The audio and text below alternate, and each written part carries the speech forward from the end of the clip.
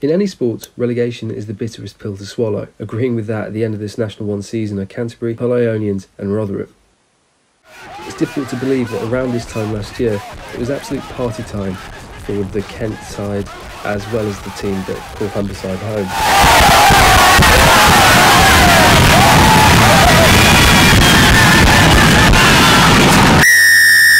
For Rotherham, the fight is much different. Not so long ago, a championship side, they will be hoping to bounce back straight into the third division.